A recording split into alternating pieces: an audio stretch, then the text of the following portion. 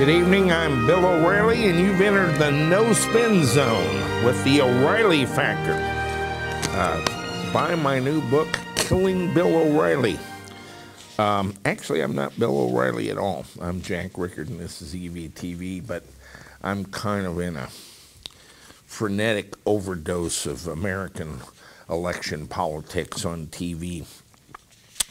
Let me uh, do a little German politics here. The German Bundesrat has passed a bipartisan agreement to ban internal combustion engine vehicles in Germany by the year 2030. And that's about 13 and a half years from now. Um, they plan, uh, after having the Dieselgate and so forth, um, to have the cleanest. Uh, automotive um, transportation in the world with um, uh, no diesel or gasoline powered new cars available after 2030. That only gives them 13 years to change their mind, of course. Um, but there you go. September 21st, um, a five minute electric helicopter flight um, out at um, let's see, Los Alamos, I think. Um, where did they do that flight? Hmm. Costa Mesa, California is the company Tier 1 Engineering. And um, they have built up a Robinson R44 with two Rinehart um, controllers and two Ramey motors, I believe, stacked um, together. They're at the Los Alamos Army Airfield last month, September 21st. They had a five minute flight, consumed about 20% of their um, lithium iron phosphate batteries um, capacity. And um, let's have a look.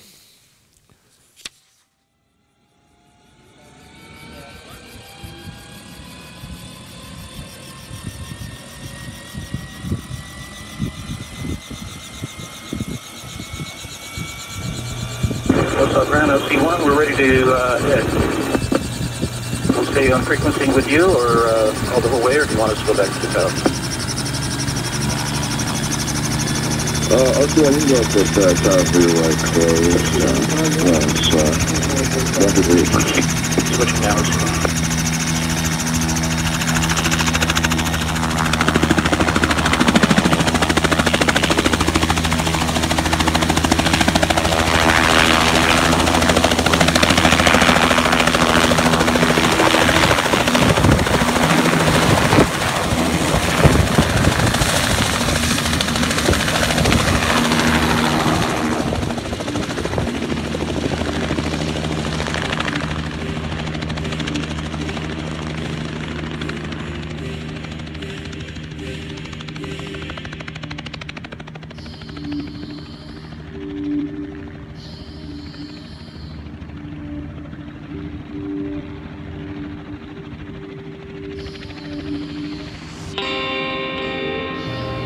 What's up, Tower OC1? OC1, Los Angeles uh, We're on Bravo, uh, ready to right close traffic to Bravo, OC1. OC1, right close traffic approved. Bravo Texas wind 260 at 5 for the takeoff and use caution. Uh, looks like there's people right of Texas Bravo. Beam Echo. Uh, this is uh, restored test flight right here.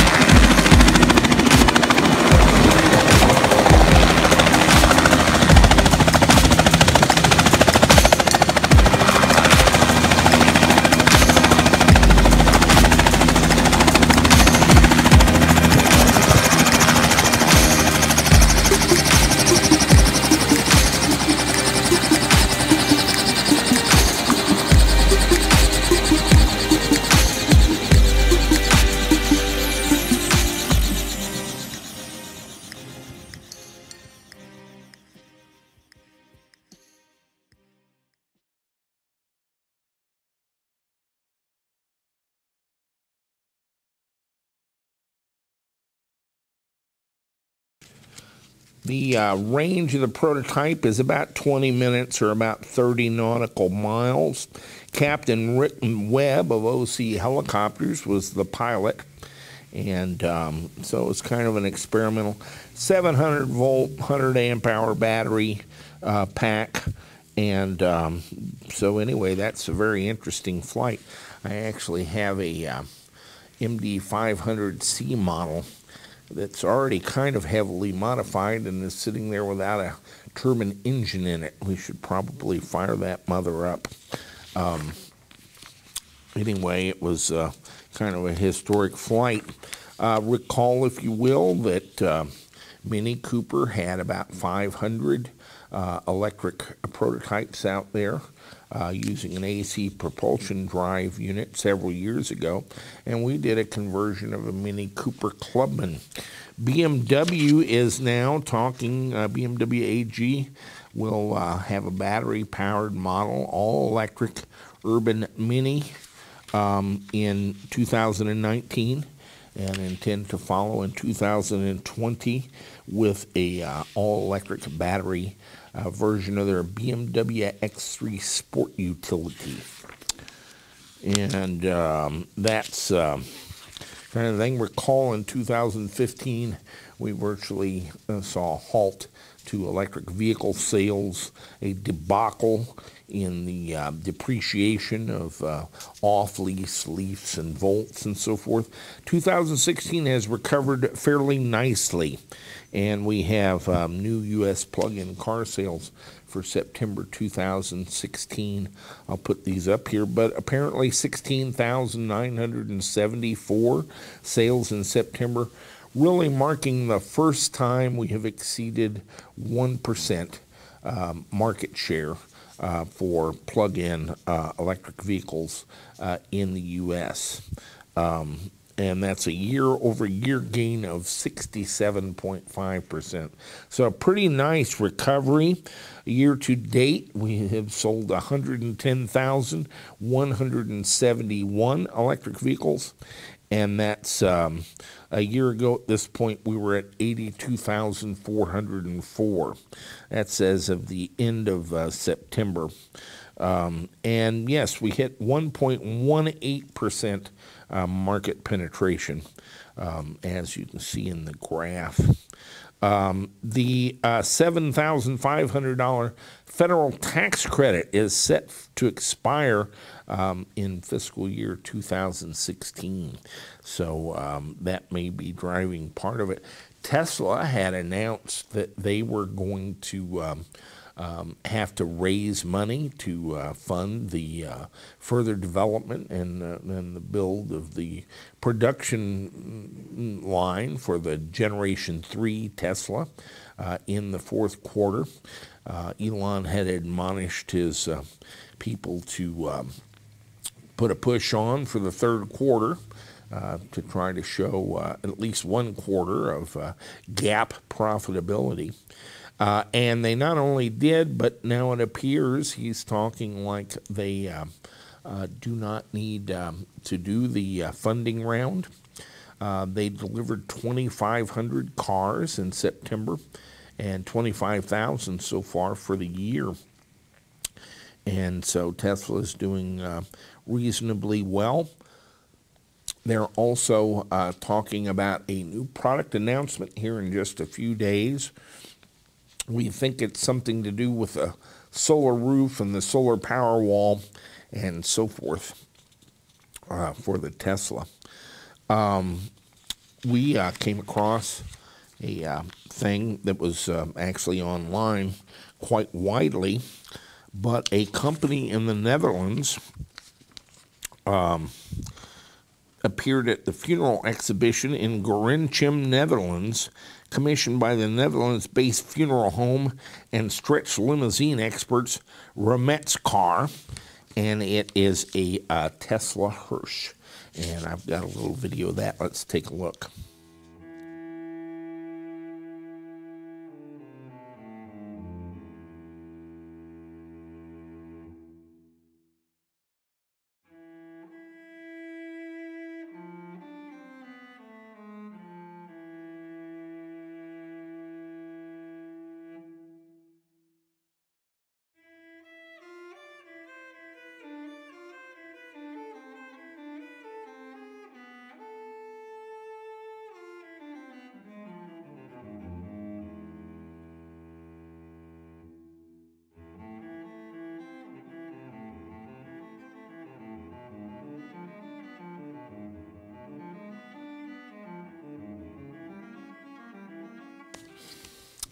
And that's kind of the news that we've got for this week. Uh, let's go to the shop and see what we've been up uh, up to in there. Um, it's been a while since our last update, and I know a lot of you are curious. Let's take a look what's going on out there. We are here with the green VW thing. I've been um, doing a lot of software work at home in the mornings, leaving Bill with nothing much to do. So he snuck over and tried to do some work getting the green thing going um, and has suffered some success apparently, which is remarkable because one of the things it was held up for was we are developing a new GEVCU 6.22 Macallan has designed, and we've been through six prototypes, I think, five or six prototypes, and some software, and we still don't have it doing exactly what we want to do, but it's coming along.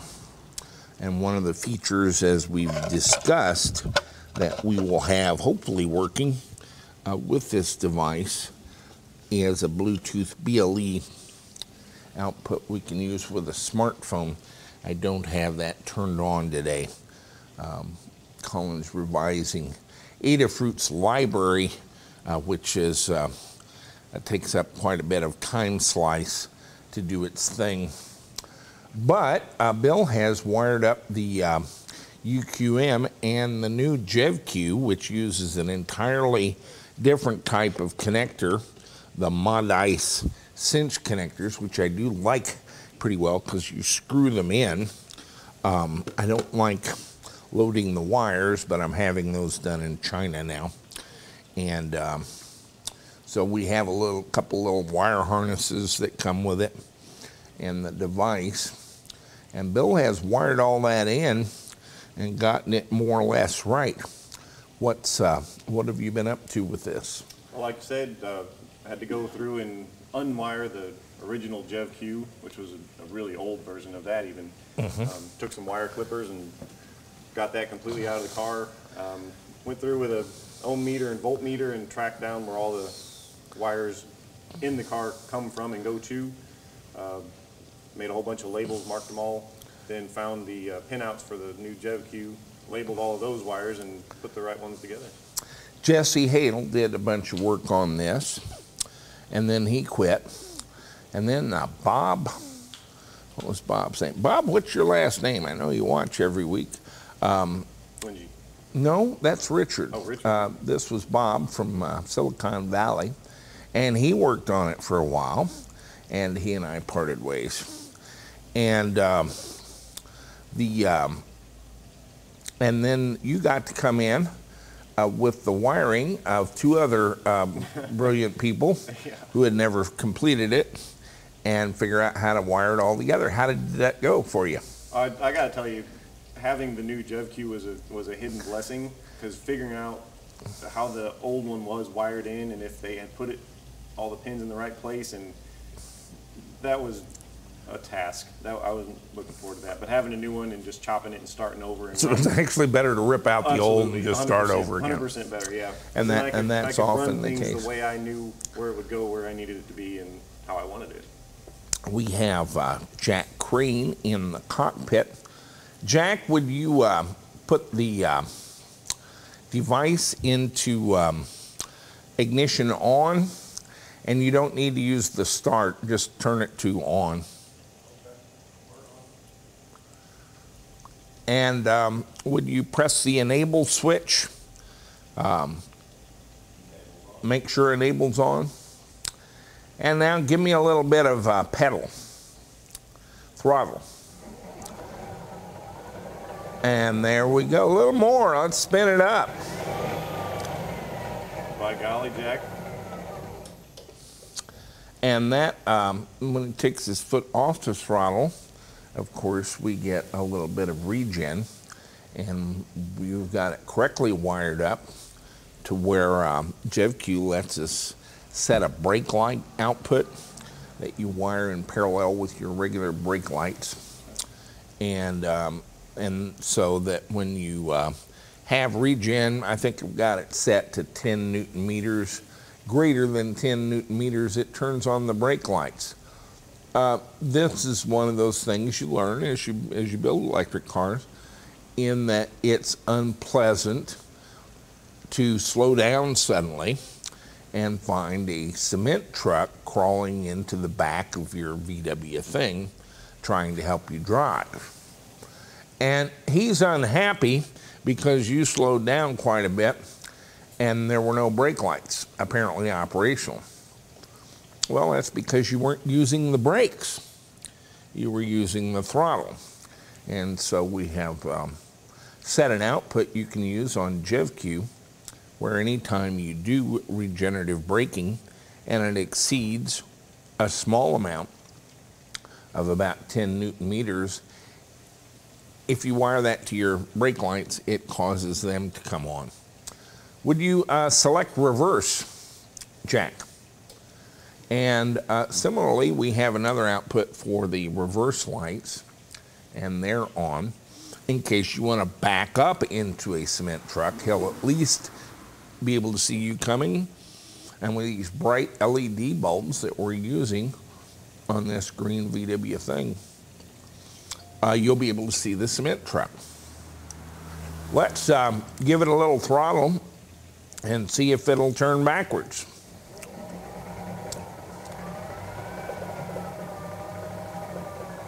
Go ahead and spin it up a little bit. I'm, I'm feeling good about these jack stands. I don't want the Jeep in my lap, but yeah, a little more throttle.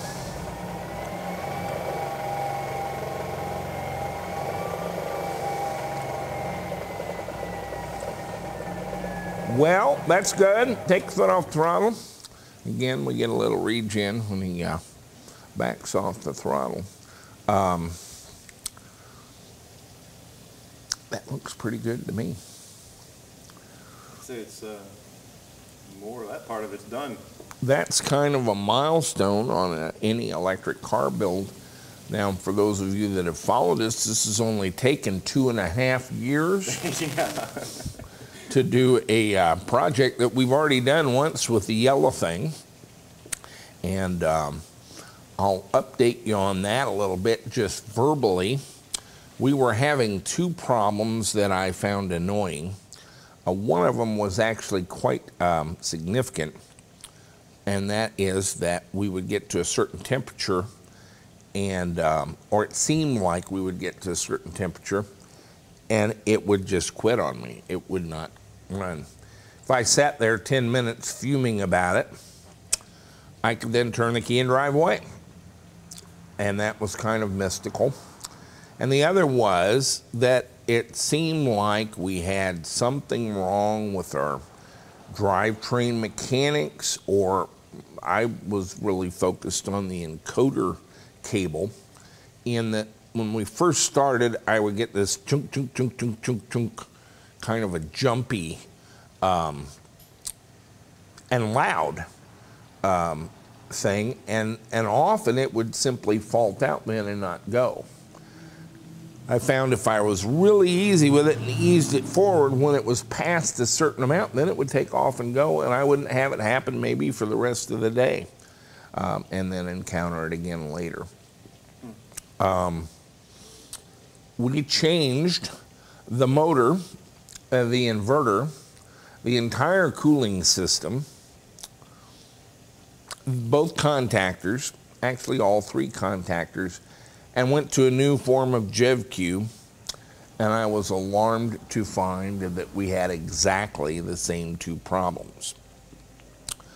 I'm going to show you a little video where you can see the position of our fill bottle now.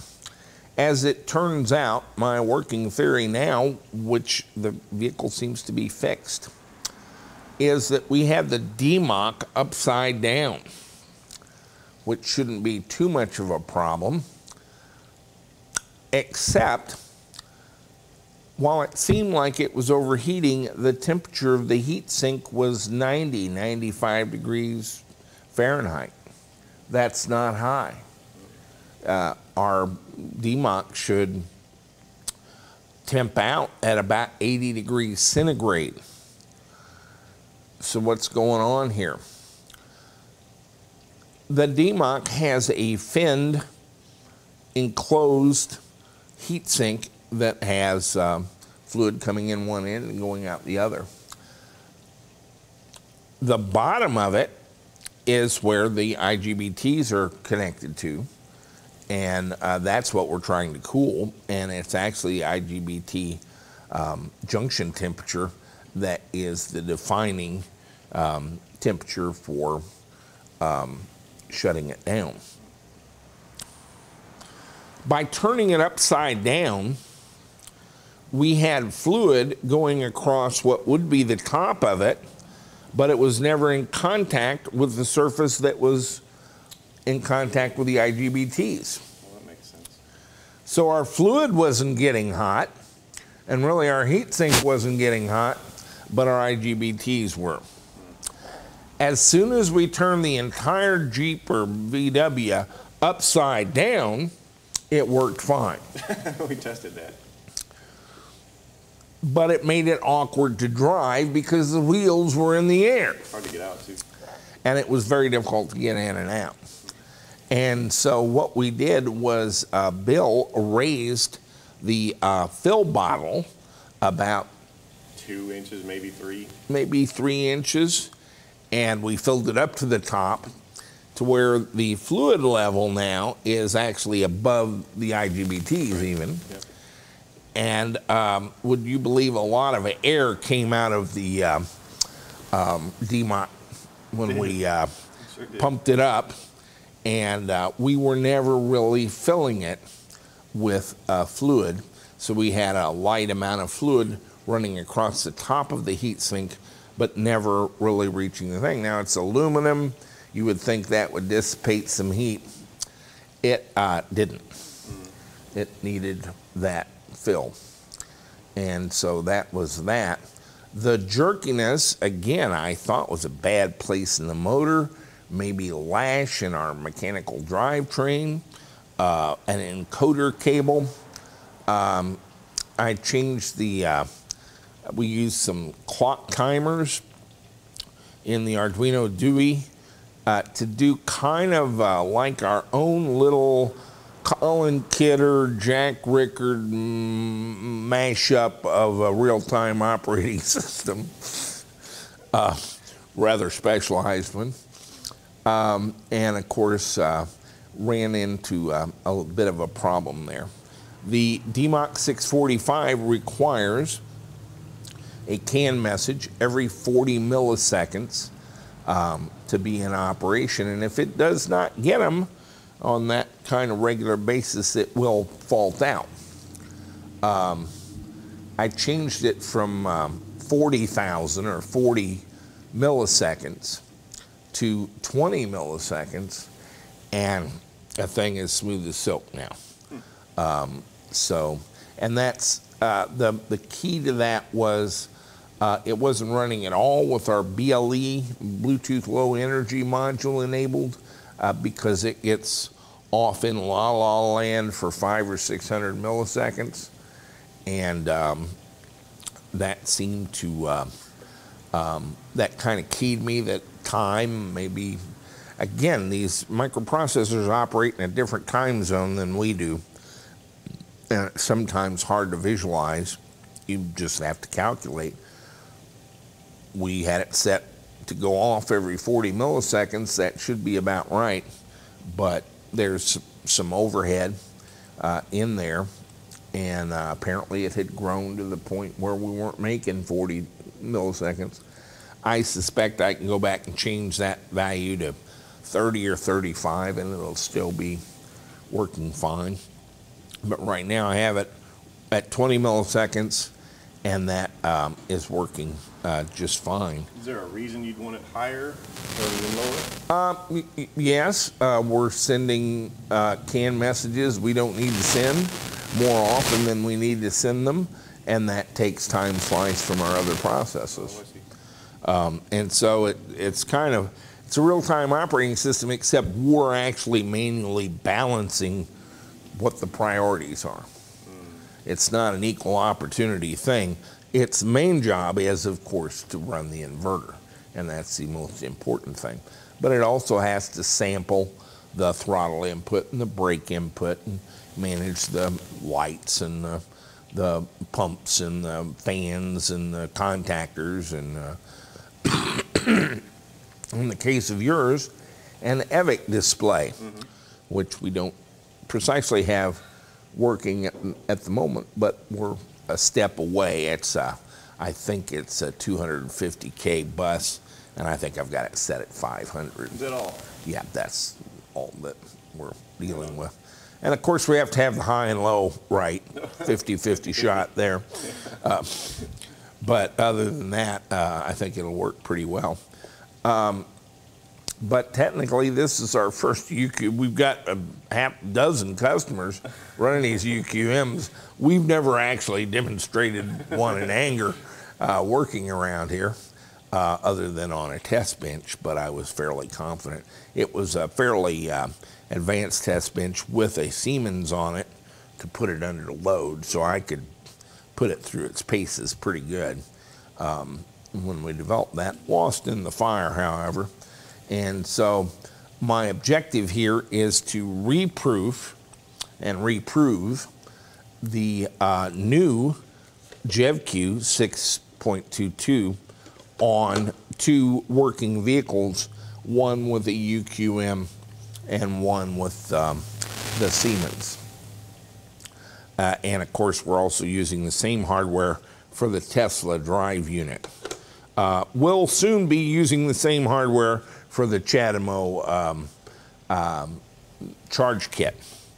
And so a lot of our future is tied up in this little box here, kind of a super Arduino Due now with 24-bit ADC, Bluetooth, and even a socket for a particle electron to do GSM as Tesla does, uh, to do software updates and things like that.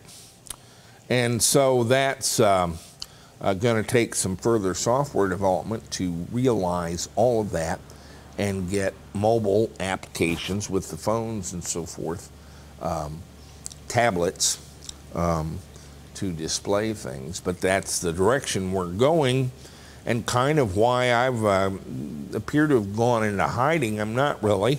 Um, I'm not really fighting to get a video out every week. Um, I'm kind of older now and heavier, and I'll make them when I can. But um, we're spending a lot of time, both Collin and I, on uh, software and hardware development for some of these future projects. One of them is to act as a GEVCU. One is to act as a controller for the Tesla drive unit using entirely different software and um, then we're going to use the same box as the basis for a CHAdeMO charge kit. And um, we probably want to take a look at um, what we're doing uh, slowly with um, that. And so stay with us. We'll, we'll go talk about that a little bit. Yes, I know I seem all dressed up. My wife's making me go to a wine dinner tonight. and it's fall, so I put on a jacket. Recall, if you will, that we are on a mission to develop a CHAdeMO charge kit for you to put in your cars. And uh, along the way, we kind of have to develop a CHAdeMO charge system. There is not a CHAdeMO charge station within 100 miles of Cape Girardeau, Missouri. And so we commissioned a company called SeaTech to make us a special CHAdeMO charge station that works quite well.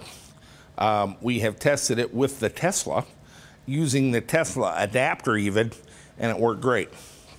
But what's unique about it is it uses a DC battery input for power rather than three phase power, which is $55,000 to put here in the shop, and then it's the wrong voltage of three phase. Um, Ameren UE is uh, how they got in the electric business. I, I don't quite understand. They don't know anything about electricity, and they don't want me to have any of it. That's a strange way to be in business. But for right now, we can't buy electricity from China. Fortunately, we can get almost everything else from them. Um, and so we have a battery box here, um, about 348 volt battery, and it charges to 383 volts, holds 33 kilowatt hours of energy, and takes a job box, which my guys have painted all up. They'll put a little module on here, and we got it on wheels and Ribbling connectors and so forth. So it connects to this CHAdeMO charge unit. We've still got the Tesla adapter on it, but um, that's uh, our CHAdeMO charge plug. And um, so it's DC powered. Now, how do we power the battery and recharge it?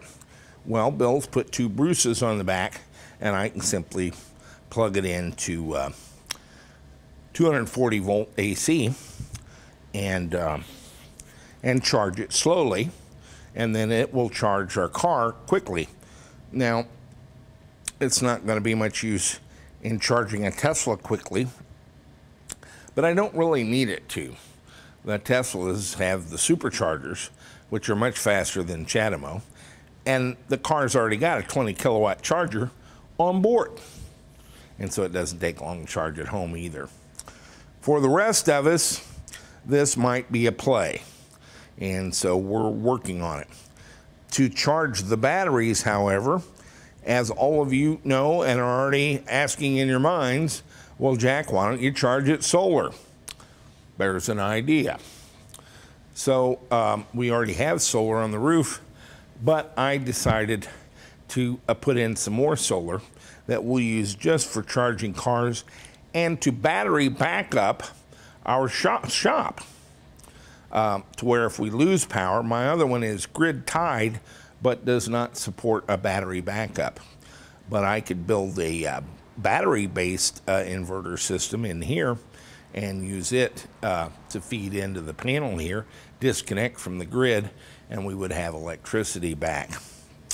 And in fact, ultimately, we want to work toward using our cars as an additional battery source uh, to provide that power.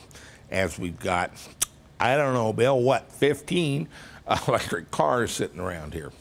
So that's the concept. Uh, and recall, if you will, from recent episodes, we were going to take some white rubber roofing and some aluminum and uh, bolt those uh, Panasonic HIT 325 watt panels um, to the uh, white rubber roof and go put them on top of our white rubber roof and leave them lay flat. Well, we, as these things often happen, and you have to count the piece parts.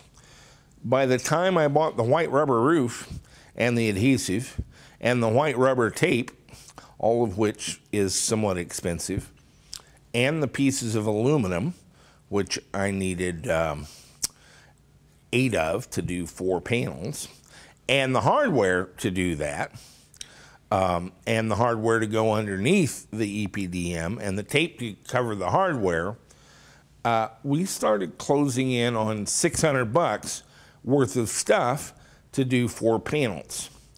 Now, the system we had used on the roof was the Dynoraxx. Dynoraxx uh, is a very innovative uh, system of mounting um, solar panels on flat roofs. So innovative, they were kind of like some of the other American companies in that they don't give out their prices and they don't sell them to anybody. Um, apparently, that has not worked out very well for them as a business model. And so today they're kind of opening up a little bit and I called them, and uh, you know they were quite nice, and they would give me a price, and in fact they would ship me the stuff if I would give them money. They have discovered the joys of American capitalism. Um, they were Democrats; they're all Trump voters now.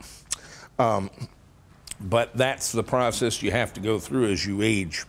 And so I'm pleased to report that you can call Dynoraxx now and just order these, and they'll send them to you. They do want to do some engineering work for you. I have no idea why.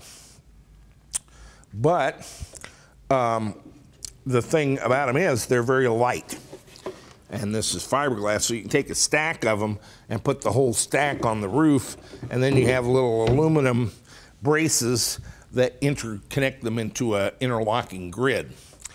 And the ballast that you put in the bottom here is two four inch concrete blocks which they don't ship you. Uh, you kind of get those locally because they're heavy, but they're also cheap. And so you put a four inch block on each side, and that holds it down on a flat roof. Gives you about a 10 degree angle on the panels. And um, when I figured it up for 40 panels, it was like $2,900. Well, that's less than $100, about $75 a panel, um, which was a lot cheaper than the thing I was doing to eliminate having a mounting system.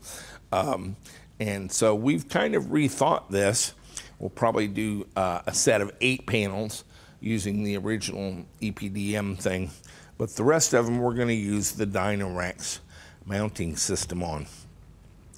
So then we're going to have five strings of eight 60 volt panels. Uh, and that's about 480 volts. And we're wanting to charge a 348 volt battery.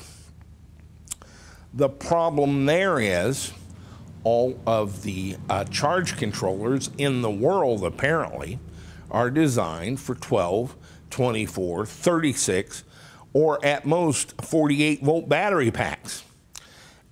And that's because that's the size of all the battery packs that the, people use. And why do they use 48 volts or 36 volts or 24 volts? Uh, because that's the only uh, charge controllers they can get. And so this gets to be kind of a circular firing squad.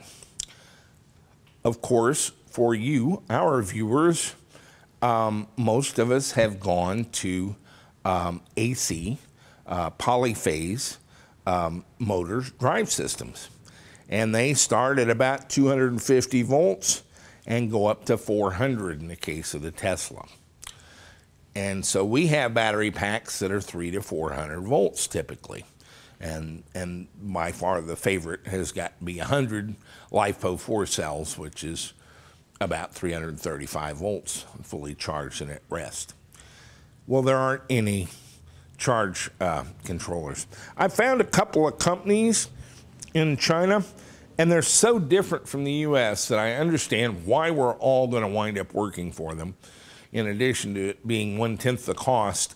I just tell them, hey, I love this product and it doesn't do any of the things I want it to do. Now, here's what I'd like it to do. And they come back and say, well, yes, okay, uh, if you'll order at least one, uh, we'll do that. I'm like, one, you'll do that? Oh, yeah. Mm-hmm. Yeah, with two, we'll paint your, paint your colors and put your logo on it. Uh, and so they're very accommodating. This is a device called the Relortnock Ralos, and it's built by um, Idnas. That doesn't sound right. Oh, here's the switch and the inputs. I put those on top so it's upside down. It's actually the solar controller by Sandy. And this is a device that they have designed.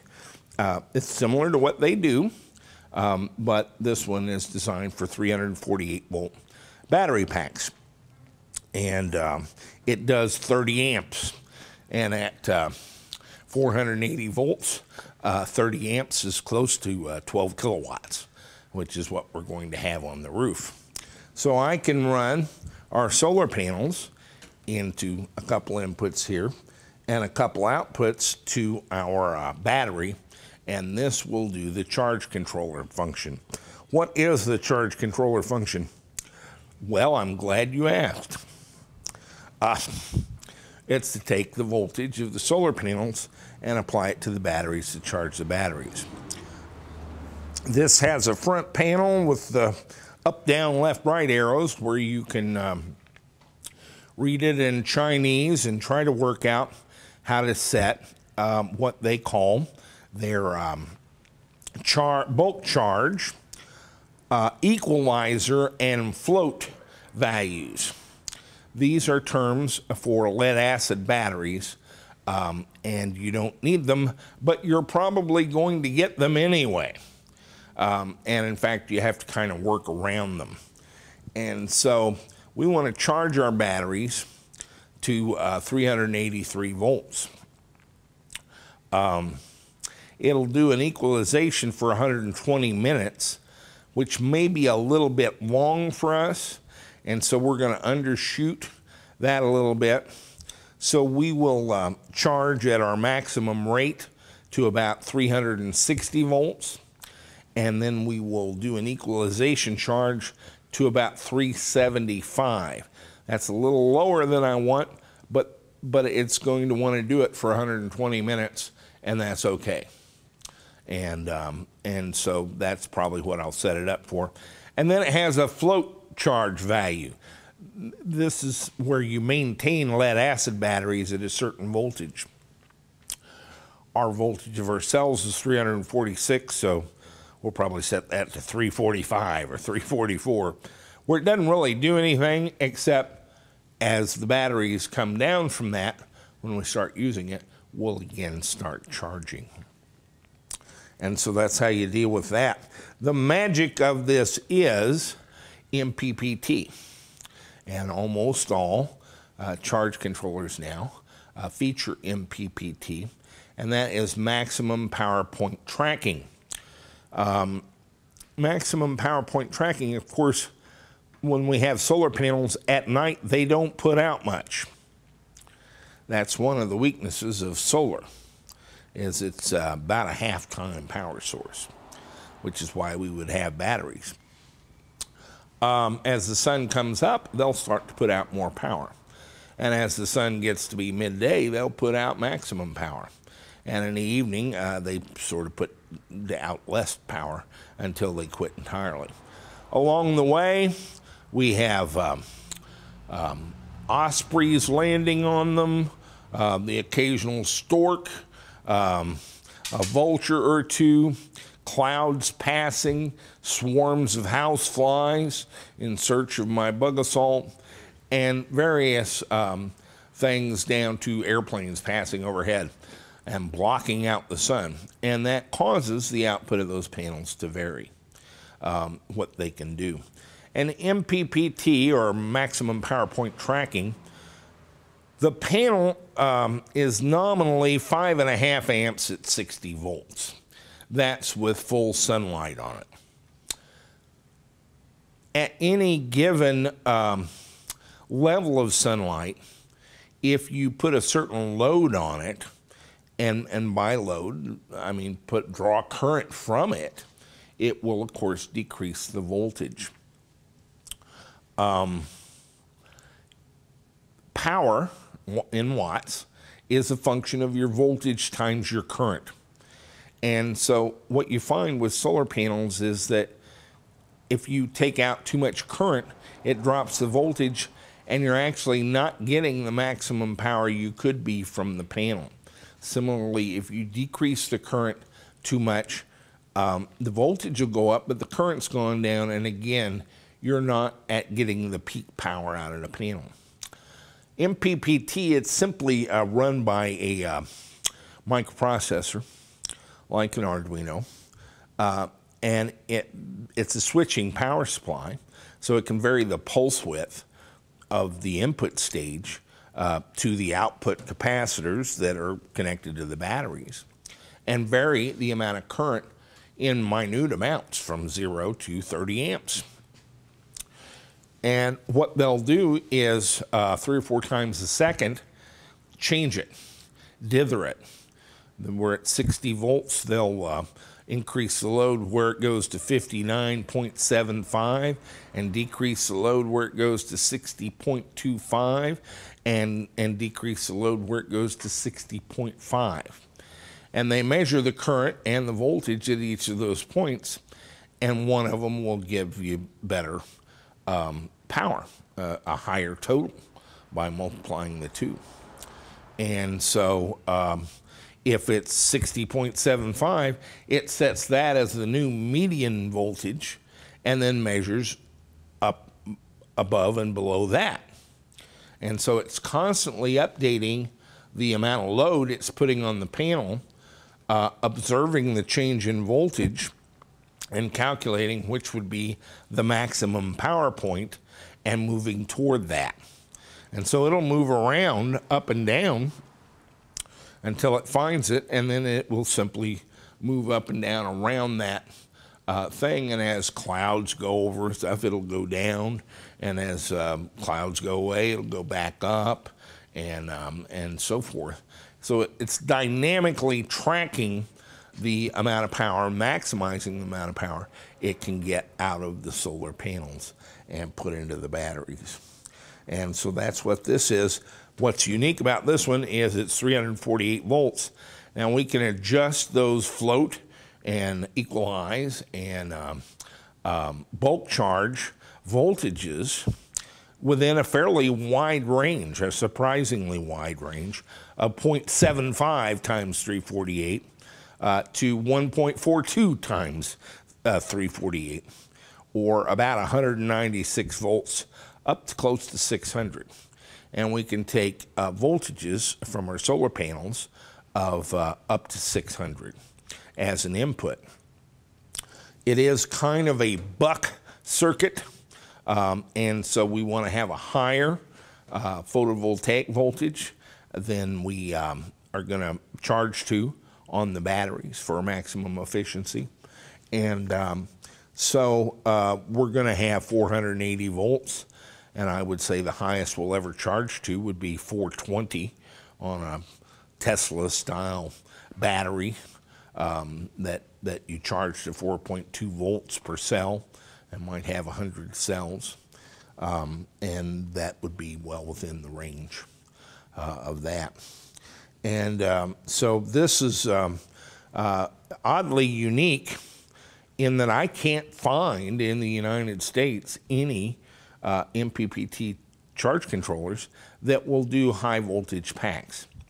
And so we're not only going to use this, we're going to import them from China, put them in the web store. They're kind of pricey because it's a 30 amp, um, 400 volt thing. These are about 10 kilowatts. Um, and so, um, well, they're not, they're, uh, yeah, I guess so. Um, and so the, um, um, they'll do up to 30 amps and, um, and about 550 volt battery and 600 volt um, photovoltaic input. And I can't find that anywhere.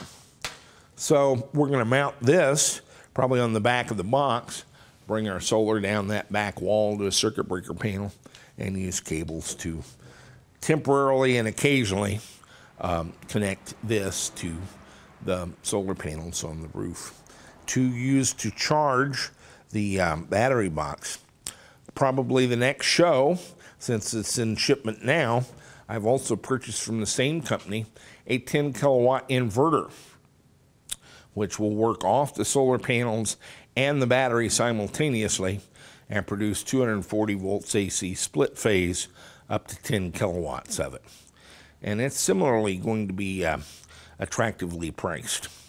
Um, things from China are. Um, but again, um, unlike other inverters, which most of them work from 12, 24, 36, or 48, this will work just fine from our 348 volt battery, and really anything three to, to almost 500 volts. Um, and so that's what we're trying to do. Uh, unfortunately, it takes some time because they don't really have them. They have something like them, and we usually have to get them to set a special voltage range for us and um, and that sort of thing to be able to be appropriate to electric cars. Uh, just everybody's focused on 36 and 48 volt battery packs, and we're just not ever going to need that. We're always going to need something higher.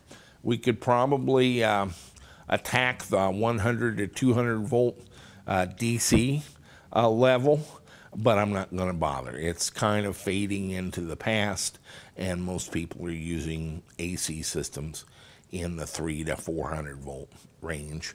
And so we're going to focus on that, uh, but develop solar products, inverters, charge controllers, and so forth um, from China that will um, let us do that. And generally speaking, this is all off grid stuff. I don't care if it's UL listed or CE listed or whatever. If you have a lot of uh, requirements for that, you're probably not going to want to buy this stuff from me. This is for guys in the shop who are going to put in whatever they want to and uh, and vote for Trump instead of Hillary. Um, So that's uh, that's kind of the game. Uh, so that's what we're doing on our solar thing. Next week, we're going to start installation of the panels using the Dynoraxx, and we're going to mount this on our battery system and hopefully get to charging our battery uh, solar uh, before the snows come and, uh, uh, and continue from there. Um, we've also, I'm talking to a company about a 20 kilowatt um, smaller CHAdeMO system at considerably less expense than the $25,000 if you want our big unit. Um, but we're going to look at a much less expensive 20 kilowatt unit that works uniquely. And, and, and really, they don't even make this, but they're going to make it for me uh, from 240 volts AC. Um, it's not going to work from batteries.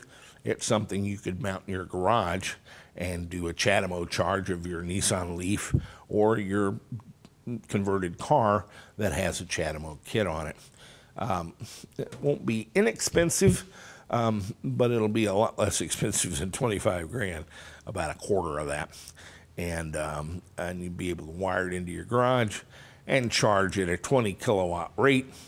If you have a 35 kilowatt pack, let's say, you know, you could go from dead empty in 90 minutes. Um, if that's an advantage. Um, and so that's some of the products that we're looking at and trying to um, uh, work with some of the Chinese vendors to get to that are appropriate for EV use. And, um, and it's coming along slowly and, um, and with some frustration, but uh, we're getting there piece at a time. And uh, again, it's all kind of hinges on us using that GEVCU to um, do you a kit to charge uh, CHAdeMO. Um, I did have an opportunity to get CCS with the uh, uh, 20 kilowatt, and I just told them I, I don't even care.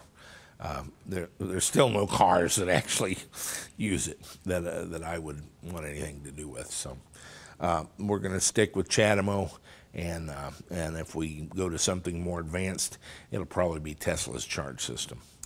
Stay with us; it's going to get to be more fun every day. Bill, I was uh, not trying to embarrass you on the uh, welding thing. I've been doing this. Our first video was May of 2009. And would you believe that if I make any kind of little error, they will mention it? Really? They just don't take you for your word? Hmm. They should. Well, actually, they shouldn't. It's uh, I went through this with Boardwatch magazine. You have to understand, half of the people that are watching this know more about building an electric car than I do, and that was always the case. We have to talk both directions um, to people that are just discovering it, and and to people that had been driving an electric car five years when I showed up. Right. Uh, and so uh, Yeah, where you been? it, it's, uh, but you, you know, you have to take what goes with it. And I was just pointing out we need a little bit more. Now you've gone the other way, and we've got enough metal back here for three motors. Um, but he did, um, again, kind of butt weld it um, to the pipe uh, and to this. Uh, Bill's got a lot of faith in welds, but we have two triangular braces, which now will make it very difficult for this to break loose and throw the whole ass into the truck out into the road if um, we step on it too much. We've had another disagreement. Bill assures me that I will break a uh, axle. I'm pretty sure I won't, but I do admit that maybe he will if I let him drive it. Um, we had um, purchased some, uh, or we're trying to purchase some Porsche 930 axles. 930 axles, yeah. And I was under the impression, or the misimpression, that we could buy these axles and they would drop into our Doka. That's a little bit of a problem, and I'll, I'll talk about why. But I'm willing to live with it if we get a better axle. Uh, as it turned out, they don't drop in. In fact, we have to have a one off made for our car. Now, we have to do that anyway about a couple of uh, items that come out of our gearbox to marry to the VW drive system. From there, I want it to be as stock as possible. And there's a reason for this um, that's going to apply to you, and more importantly, to anybody who might be the unfortunate recipient of your car should you expire or sell it to somebody. Um, and that is maintainability. And uh, we get into these things in doing an electric car. Inevitably, you're going to have to fabricate some things to marry an electric motor to a car that's designed to work with a gasoline motor. How whosoever, the idea is to limit that. Try to break it off and get it married to the car where it works for um, uh, everything else is stock. And why do you want to do that? Let's say that it's seven years from now and that you're not with me. Not that anyone has ever come and gone around here.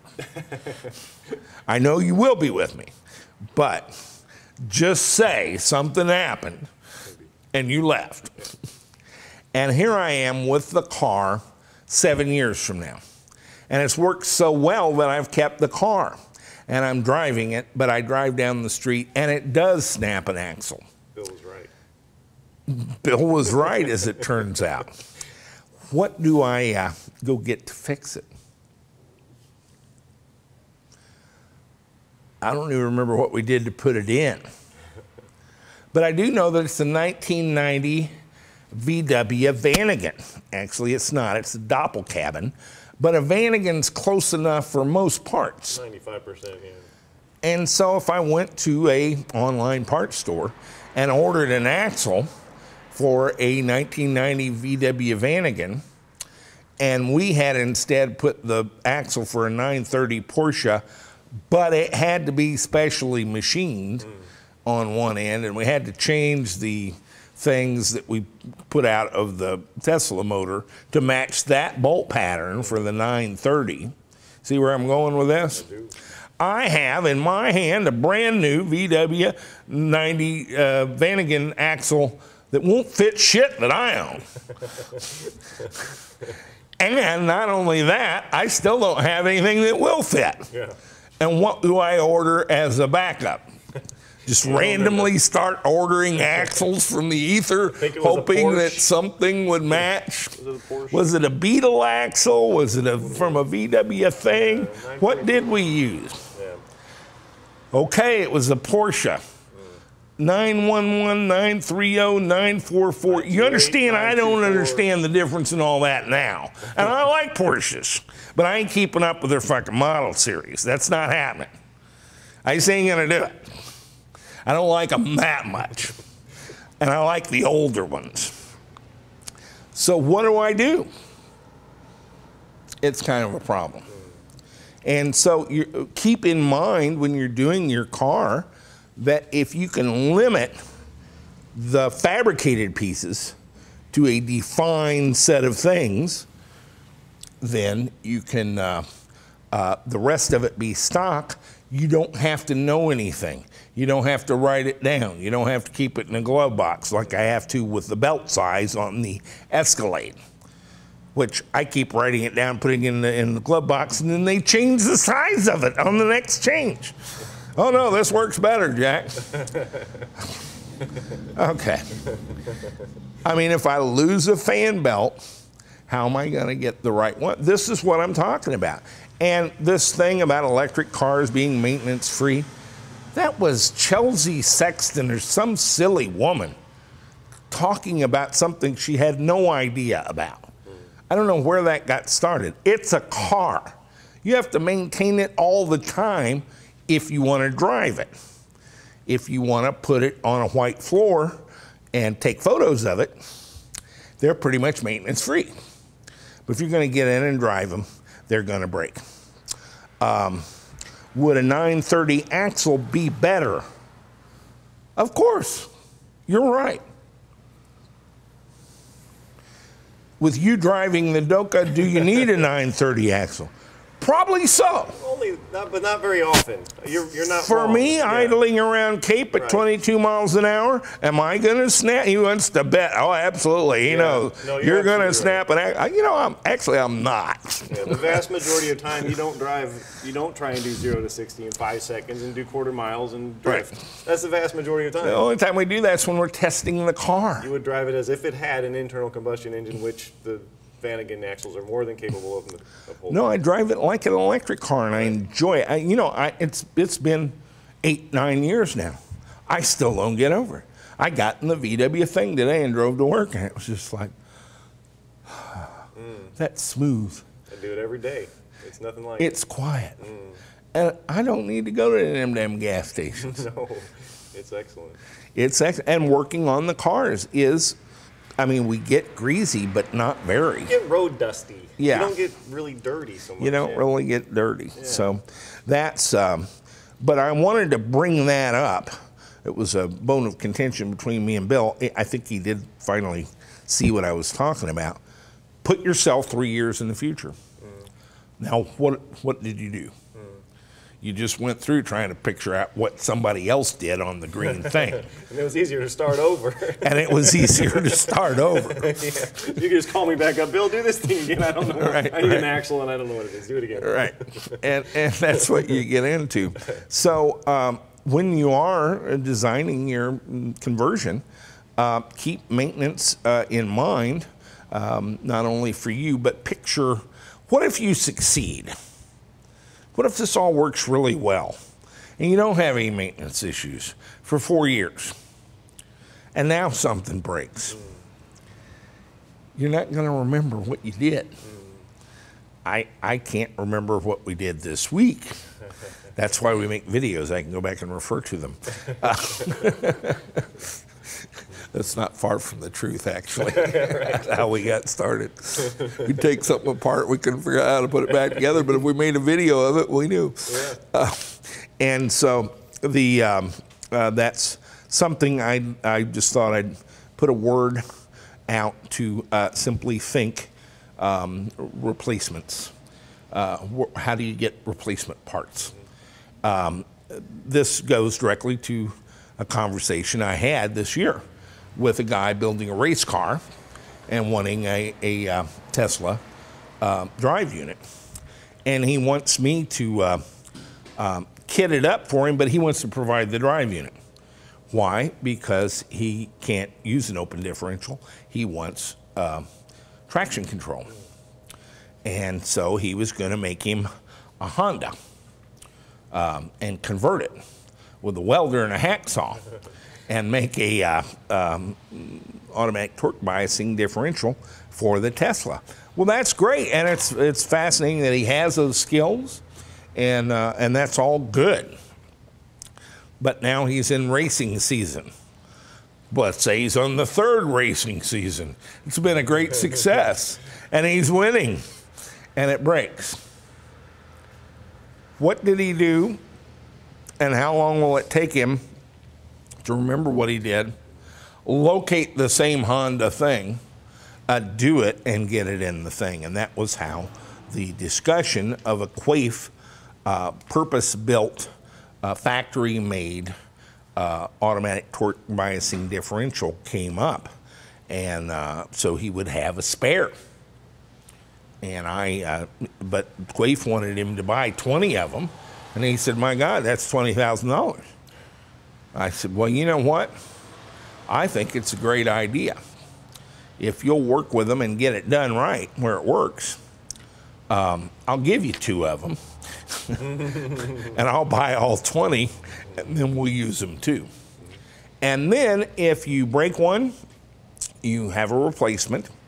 And after you're out of a replacement, you can call here and I'll sell you another one.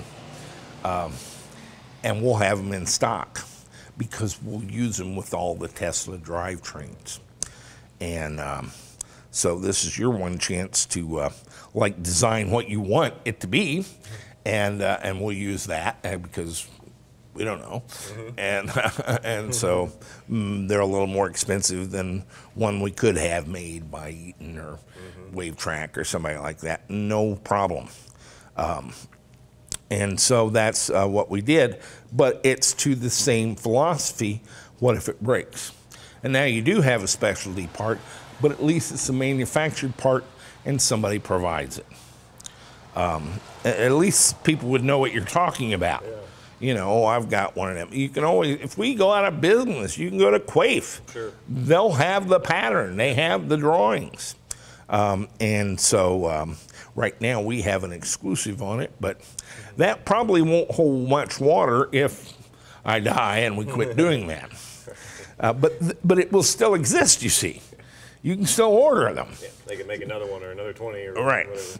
Uh, or, you know, uh, get one of their dealers in uh, Botswana to stock them or something. Um, you're not completely bereft. And so these are strategies to provide replacement parts. And this is why we've been working so diligently on Volt uh, APMs, auxiliary power modules. We shipped one yesterday. Volt chargers, um, Coda chargers, the Delphi uh, DC to DC converters, and so forth, so that we have parts that you can use in your build that you have some chance of uh, getting again and we're having all kinds of problems with Chinook DC to DC converters that we can't really get anymore. And in fact, we've replaced those with two um, new versions uh, in the web, web store that I think are, are going to be pretty good. Um, but the uh, we can't. It, it turns out half the the Chinook DC DC converters work one way and half of them work the other It's ridiculous. and and they're all in the same, you know, uh, shop, And then some don't work no matter how you hook them. and, and some don't work no matter how you hook them up, and they're gone. And so um, that's uh, not good. Um, and and so we need to get away from the specialty houses and into more. Uh, and as people make more production cars, uh, if if you put a Tesla drive unit in, I would predict that in the future there'll be more of them because there's an OEM making them. And um, so that's the direction we're going, albeit slowly. In any event, Bill has this bolstered, and now we're back to a Doka um, mm, uh, uh, Vanagon drive um, shaft. And as it turns out, I had ordered some a year ago, uh, brand new ones, and we found them. But Bill was telling me about these um, Joint. constant velocity uh, joints, which we have two of and are going to try to marry into.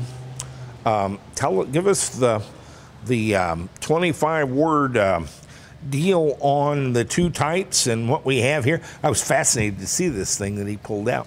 Yeah, uh, well, basically, a um, CV joint, as anyone's familiar with um, vehicles, um, is just a joint that's on front wheel drive cars, mostly rear wheel drive cars too. But uh, it just provides a means of transmitting the torque from the engine transmission to the drive wheels while maintaining suspension travel and, in the case of the front, steering and suspension travel and all that. So this joint has to do a number of things. Uh, it has to be able to go in and go out to account for suspension travel. It has to be able to turn, and it has to be able to do it in a way that it doesn't vary the speed of the uh, the half shaft. Uh, So, like a U joint, there's ways you can set them up where you get a lot of vibration. it's not with a CV joint. But with a CV joint, that Right. doesn't. It Yeah. doesn't have to be on the same parallel. Right, with a U joint, if you're familiar with any rear wheel drive car, you've got a U joint here and a U joint up here. They have to be clocked together. They have to be, you know, together. If you've got one off a little bit, you end up inducing a vibration because as a U joint goes through its travel, it actually speeds up and slows down the drive shaft. Mm-hmm. But if you've got the other one clocked the other way, it accepts that and it cancels it all out and everybody's happy. With a CV joint, that's not an issue anymore because it's got, um, you know, because it's, it's designed in such a way that there is no acceleration of the drive shaft. and there's two basic types. There are two basic types. You've got what's called a Rzeppa, R Z E P P A, I believe it's called. Or what I believe it's spelled. And then there's also a tripod, a T R I P O D, tripod, Tesla uses the tripod, and VW uses. or a Well, that's handy. This is a Rzeppa. And you can find cars that have one on one end, one on the other. You can mix and match. You can mix and match them because, like we said, they're they're constant velocity joints, so they don't care what's on the other. It just depends on how much travel the suspension has to go through and designing requirements or whatever. Um, yeah, so yeah, the Volkswagen uses a Rzeppa joint. Well, show them this thing. This is amazing. So this is is basically the part that's mounted here, but it's off. I had to take it off to put it back together. Um, so what we've got inside of here is we've got six little balls that uh, that like they expand and contract with relation to each other as it goes through this movement. Um, it's you have to kind of be here personally looking at it. It's a, it's a fascinating thing. The the balls are machined to an extremely tight tolerance, um, and everything just fits together really nice and smooth. And you can see sort of how it moves in and out through its travel. Yeah, it's a. Uh, as I've said many times, I'm not a mechanical engineer. I was fascinated by the Quaife um, auto pricing differential. This is the same thing. This would just never occur to me, but you can can go um, in and out. Primary, it's got to be an inch and a half Yeah. and then you can tilt it um, in all kinds of directions. Uh, not only the outer ring, but the inner ring tilts separately from the outer ring. I- I mean, it goes every which direction, um, and and all based on these enormous ball bearings in there, and just sort of it all hanging together.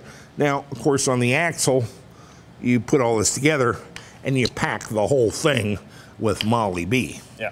uh, with uh, molybdenum grease, and um, and then it, it because all the stuff's moving whenever the car is moving, so it has to be lubricated. like but um, but I, I found it fascinating when he had it out with out all the grease, um, how it worked. And as you can see, the disc is tapped with six holes. We're going to limit our fabrication to a device that, that goes into the Tesla gearbox with the, the right spline and then the right helical uh, lubrication groove. and on the other end, what did we decide? Another spline at this point? Well, we're looking at two different options um, based on how the this, this uh, internal stub shaft would work. Um, we, we could look at another set of splines. Uh, I don't have anything in here. But another set of splines sticking out that would uh, basically accept the Volkswagen uh, flange that, that would bolt to the, the CV joint here. So we would put, so we'd have splines sticking out, then we put the flange on, tighten it down with a bolt, then just bolt this on as if this thing would think it's going right to a Volkswagen. It would, Right. you know. The other option we could have is um, similar to how we have the Siemens adapters, mm-hmm. UQM Siemens adapters. The blanks. The, blanks, yeah. The splines, the, the, the internal part would go into the Tesla as if it is a Tesla, but on the outside would be a blank disc mm-hmm. of, say, an inch or inch and a half thick. And then whatever you're mounting it to, you could machine that thickness down to wherever you need it to match your drive shaft length, and then you could machine the holes in to mm-hmm. match to whatever you want. If you want the standard Volkswagen ones, then that's what you do. You want 930s, that's what you do. If you want something completely different, then that's what you would have machined. So that's what we're talking to one machine shop about, having that made out of 4043 tool steel. But then he wants to harden it. You have to harden the bearing surfaces so they'll last, obviously. And if you if you harden the bearing surfaces, they have to do a final machining on it to get it to the right size because that that'll mm-hmm. change a little bit through the hardening process. Unfortunately, when you hi- when you harden the inside, you're also going to harden the outside. You're going to harden. And now it's going to be disc. real hard to, to drill and tap. It's going to make the final machinist not like you very much to have to machine that down and drill and tap it. It just makes their, their life a little more difficult. So the splines are kind of looking like what we'd want, and then the end user would, I guess, make a flange to match their CV joint, however you want to do it. Mm-hmm. So, it, so we'll see. We're still looking at that. But again, the idea is to limit the fabrication to something that then you can bolt up stock stuff to. Right.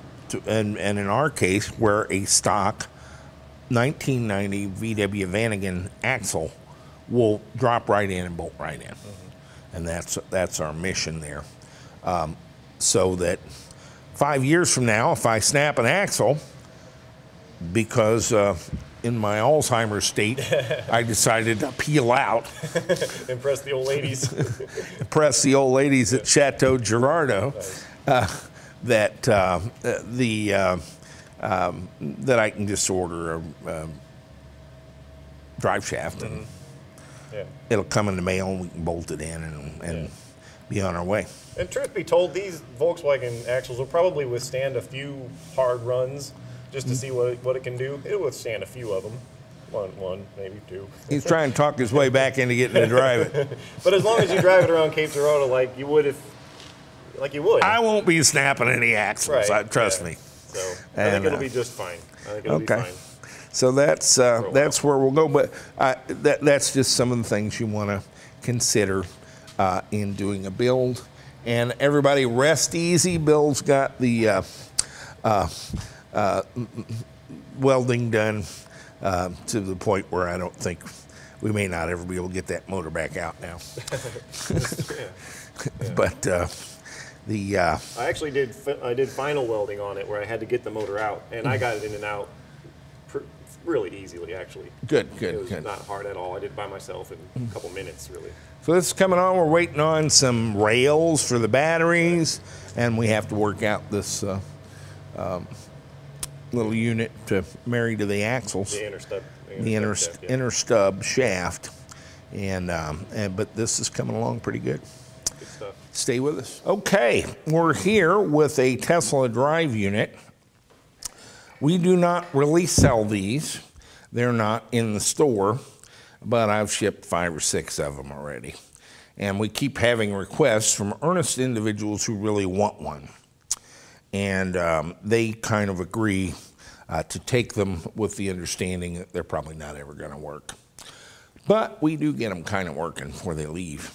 And we're getting pretty close to a kit that we can offer on the website, but I um, keep having to build them as quick as we can uh, without putting them on the website, so I'm not too sure when that's going to be. This is the drive unit out of the Tesla that we bought and parted out and a man named Nicholas Corrali, who's been a long time um, EVTV viewer uh, from Pennsylvania, and he was at our last EvCon, and he has a uh, remarkable 1963 Impala he is restoring, and I'll put some photos up of that. And he has purchased a full subclip for his 1963 Impala. Uh, and we took the clip out of the um, uh, Tesla that we had bought and parted out. And, um, and we have removed the drive unit from it. Uh, we're going to install it back in the clip. But first, we had to install the Quaife um, automatic torque biasing, a limited slip differential in place of the Eaton open differential uh, so that he will have a kind of a positraction Impala, although a little bit better than a positrack. It'll be uh, uh, what Quaife calls automatic torque biasing. And um, so Bill split this and installed the Quaife in it, and that's already done, and put new um, uh, gunk on there, um, sealing it back up, filling it with uh, red line ATF. Uh, we've got new seals for the um, e-gear drive, and um, and so we're kind of uh, almost remanufacturing a Tesla drive unit. Um, so it'll have um, good traction control and um, and new seals and uh, and be ready to go. And Jack and Pat have been, as you can see, polishing it up a bit. Um, the um, so this is the then we will uh, test this a little bit on the bench um, just to make sure it turns good and uh, there aren't any uh, ridiculous noises because it is quite a bit of work then to put it back into the subclip and reassemble all that. Uh, so we'll do some testing with it here on this table and then we will reassemble the entire subclip with the electric parking brakes and so forth, put the electric parking brake module on it that we have now working with our test bench, and um, uh, prove uh, an EVIC for him and a PKP 2400 CAN switch um, and the little uh, uh, current and voltage sensor that we ship with it and the wiring harness and all that, and we'll make sure all of that works uh, um, perfectly uh, before we mount that on a double pallet and ship it to Pennsylvania for him. And um, he has prepaid that, and we are going to try to get this out in timely order. Um, as I get older and run out of energy, that may be a week or two, uh, Nicholas, but we're, we're going to get it to you. You are the hot project at EVTV right now. And um, so uh, we'll get this put together and get it out to you. And it's, as you can see, shines up like a new dime. And, um, and hopefully we're going to get it uh, turning perfectly and quietly and smoothly um, and then get it shipped out to you because I think that's an excellent um, poster child almost uh, application. Uh, I want to air video of you driving a 63 Impala with a Tesla Model S uh, rear end under it, and I think that'll make a fantastic car. Uh, speaking of which, and long term projects, that seems to be our theme this week with our green VW thing that's taken two and a half years. We have another build from one of our early GEVCU contributors, Ed Clausen in upstate Massachusetts, um, Mushin or Matushin or something up almost uh, to the Canadian border. And he has a BMW 320i that he has taken on as a whole new career. It's gone on. He's broken a leg, gone on vacation, drained down his battery pack with a BMS. Don't say I didn't tell you uh, and many other adventures along the way, but he actually got it rolling and, in fact, is experimenting with auto drive, autopilot. Let's take a look.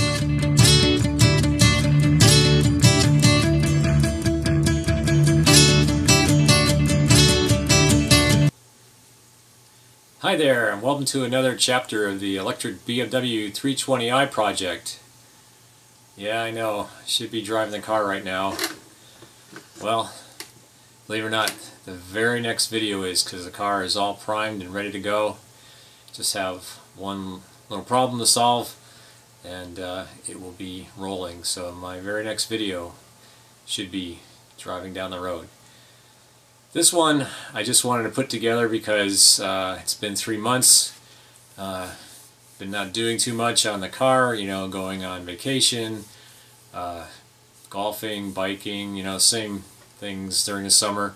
In fact, uh, had a really nice uh, vacation in Italy. Here's a picture of me and my girlfriend Lisa in front of the Colosseum in Rome. We were in Rome for many days and spent some other time other parts of Italy. It was really great with her and her family. So what I did before I went on vacation, because I knew I'd eventually get to the car, was I, because I got all the batteries together and everything was all set, I charged up the pack to about uh, 30 amp hours, which was like about 375 volts, and uh, I uh, thought, you know, it should be just fine. That's, that's a nice state of charge for the batteries to sit in for a couple months, and uh, that's how I left it. So when I got back a few weeks ago and I got to working on the car, I was um, actually checking out, wanted to check out this AVC2, which is the uh, J1772 interface module, and I had wired that in. I wanted to test it, so I, I turned on the car, and I looked over the JLD 404, which I have, you know, set up, and I couldn't believe it. It's like it should have read 370 something volts, and I thought it was a mistake. It read 77. I'm like, 77, what? And I went around, checked all the connections, and I went out and I tested a battery in the front box, and sure enough, yeah, below a volt. All the batteries below one volt. which is really bad state of charge for those lithium cells. So I went through and I measured the voltage on every cell. Uh, average was about 0.6, the lowest was about 0.25, and the highest was 0.85. There was nothing that was at zero volts, which is a good thing. It probably shows, you know, I did a good job of bottom balancing before, but still, that's that's really low voltage for those cells. So I, I took one out, and uh, first thing I did was I just put it on a power supply and charged it up to uh, 2.7 volts, and it seemed happy. It took at an amp took about an hour to do that, you know, so that's like one amp hour went into it. At that voltage, I could put it on my um, PowerLab uh, charger, and uh, I put it on there, and at 10 amps, it charged all the way up to 3.65, 64 amp hours. So uh, doesn't appear to have any real degradation in it. Um, looks like it's fine. So the next thing I did was I went through and charged up all the batteries individually or in groups to uh, up to 2.7 volts. So then I could turn on the Brusa and fully charge the whole pack. And so I'll show you some parts of that. And uh, fortunately, uh, the whole pack came back to life. I was able to get 60 amp hours into it. All the batteries except one were fine. They were like at 3.4 volts during the charge and one went to 3.65 and so I replaced that one and now I should be able to ch charge up to even higher than 60 amp hours but uh, that was just the start of my troubles having a discharge like that I still haven't figured out what the problem was uh, the maintenance switches were all open and uh, the only thing that was connected was the BMS and I still have not figured out if that's the culprit but I will be looking at that very closely and uh, I also finally got some of the interior finished and I'll be showing how I struggled with the carpeting and getting the seats in and everything. And then the next video, as I said, it's all ready to go, as you'll see that. And uh, But let's take a look at this one. The last bit of connections to make before putting the instrument cluster back in. All these uh, wires I had to cut before and to be reconnected both sides it's nice uh, connectors that go back into the instrument cluster and I had to make my own just this multi-wire guy that brings all the wires together to plug down into the GEVCU that's going to run the instrument cluster. So so last bit of wiring the next thing is put it in. Here's something I'm trying for uh, terminating wires on a barrier strip instead of just crimping and putting wires in. Using these barrel connectors that uh, you see they they have a crimp. It's basically a nice tool that does that. And then I put a little bit of heat shrink over that to strain relieve it and then use one of these things that basically are designed for large wires, but then the barrel goes right in there very nicely and clamps down on it. Makes a really nice solid connection. So we'll see how well that works. I'm basically doing all the under dash wiring with that, and I did these use these inside the um, crossover box I did for the wiring in the in the uh, engine bay. So nice little system. starting to look more like a drivable car. Got the wheels on, front and back, and another big thing, the whole front end put back together, kidney grills, headlights, bumper, air dam. The only thing left to do is the turn signals. I'm waiting on some LED lights for that, but then, uh, then I'm going to put the hood on Let's make sure it still fits alright, or at least fit it up.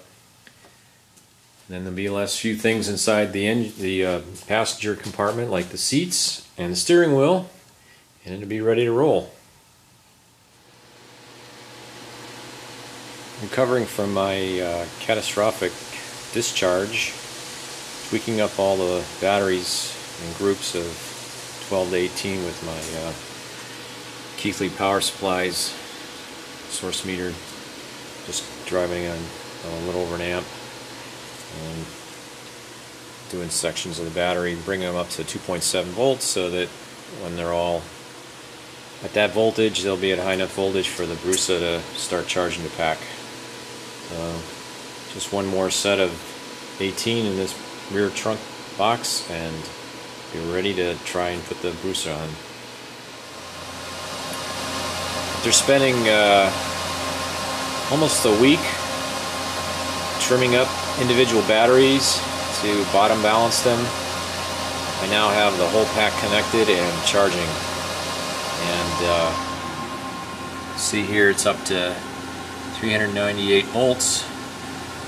Everything looks really good. There's no temperature rise. I've been checking individual battery voltages, nothing out of the ordinary.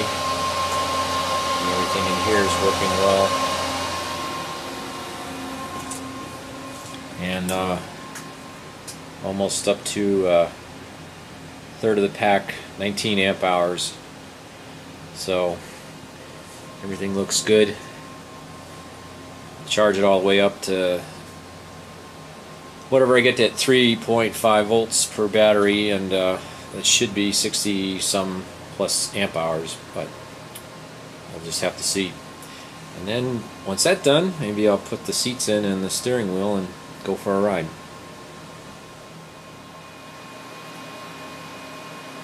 Well, almost at 60 amp hours and looks really good.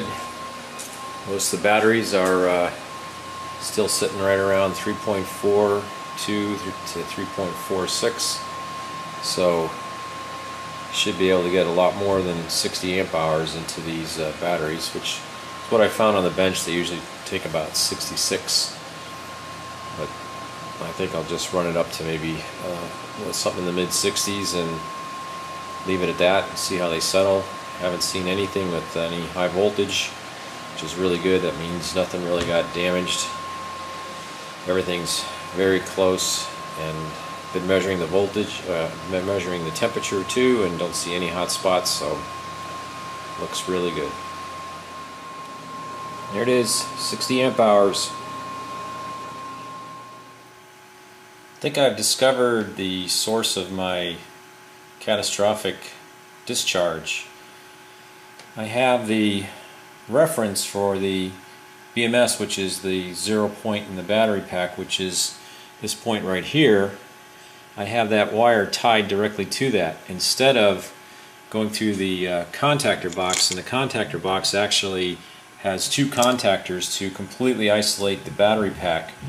And the that goes to this uh, bus bar system I have here. So that's really where the BMS should be connected if it's not going to monitor the pack when it's off and that's probably that point because now there is a connection between there and the rest of the pack.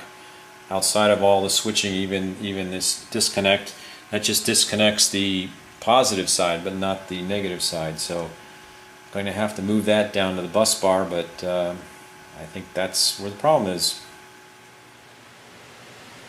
Alright fun time putting the new carpeting in. So got it laid out figured out the hole for the gear shift and the emergency brake. See it has nice little contours for the seat posts and for the front and the transmission tunnel. So next thing is to try and stick it in there and see how it fits up. It's made extra long. It's like about three inches too long this way and three inches too long that way, so to do some trimming once it's in. But here's the start. Well, it's starting to go in. Definitely I'm to have to take the uh, handbrake off. There's no way I'm to get that on there, that little hole. But next thing to figure out is where to cut the hole for the gas pedal and get that up behind the pedals. Man, what a chore.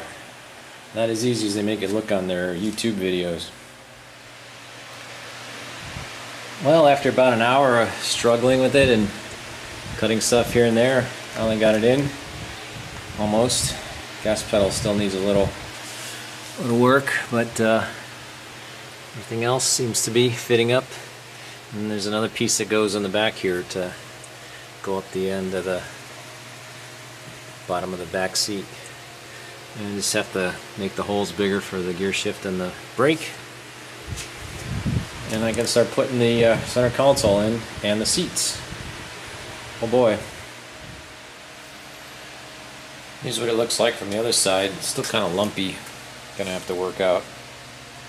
Get everything cut and the holes cut for the bolts for the bucket seats, but it's getting there.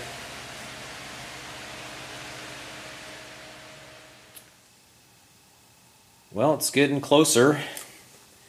Got the uh, center console in, the steering wheel, brakes ready. I just have to put the seat in. I got the holes cut in the carpet. Not too happy with the carpeting, um, even though it did have these contours made up. It's like too much material here in the in the middle. I don't know if I can get that glued down or not. It's just uh, doesn't look very good. I'm surprised they don't have that design better. I don't think that you could actually um, pull this anymore because like there's the foot pad and that's where the throttle should go so uh, it's centered up correctly. Oh well, that's the problem with the uh, aftermarket carpet. It's just not cut. It's cut too generic, even though it's very specific for this car. But I think a couple more hours and get a few more things done. It might be ready to roll down the driveway. Okay, one seat in. Boy, that was not easy. I don't remember it being that hard to get them out, but uh, bolts really didn't want to start. But uh, getting ready, just going to have to go through the uh, punch list and see what else got to do. One big thing is I need to torque all the lug nuts up on all the wheels because they're just hand tight. so as you can see, it's ready to roll. Uh, the wheels are on, bumpers, lights, everything is there, and even a driver's seat and steering wheel, so it's ready to go. Unfortunately, I did discover one big problem right when I was ready to run it, and that was uh, first thing happened was the DMOC wouldn't output any uh, commands to the Siemens. I'd step on the throttle and nothing, and the throttle and the brake had all been calibrated and working. I mean, I showed that in my last video. Everything was working. So I don't know what was going on, so I started poking around, and I really couldn't believe it, but I found I had voltage on the maintenance switch with the car off, and the maintenance switch should be always neutral with the car off because the contactors are before the maintenance switch, at least the one that's in the front hood uh, engine compartment, and I started measuring things and I found out that the contactors in the contactor box are all fused, which means there's no way to electrically or electronically turn off the high voltage, and there's really no way to pre-charge the DMOC.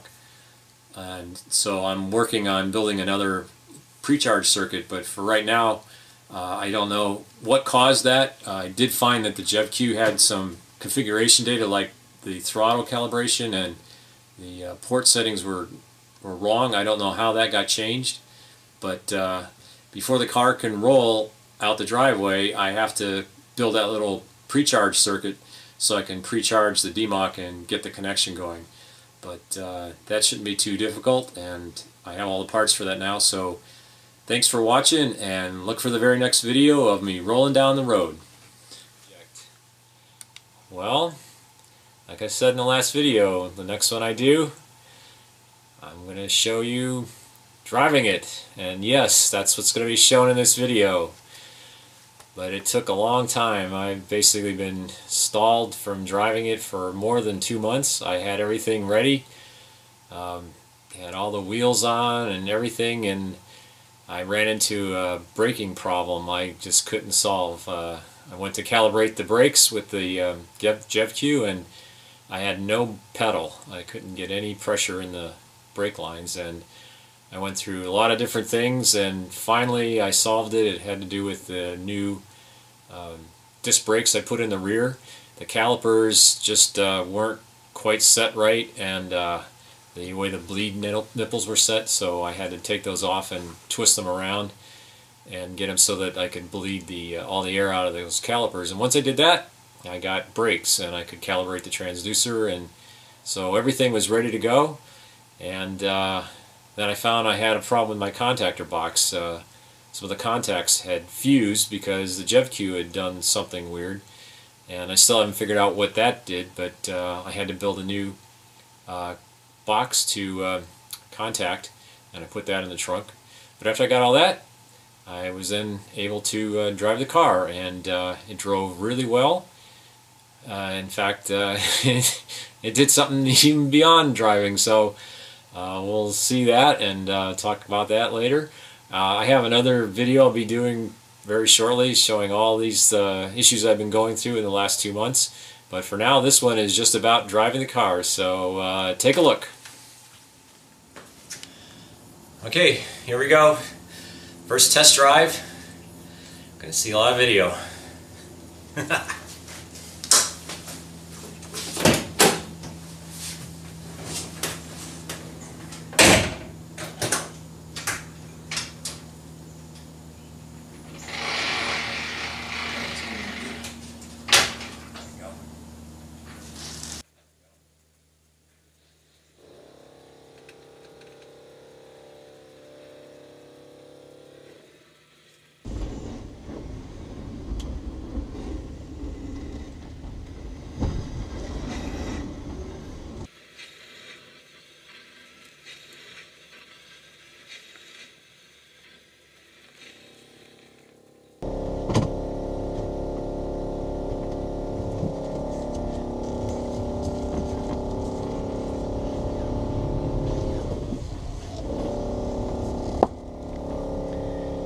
go arrange the cameras.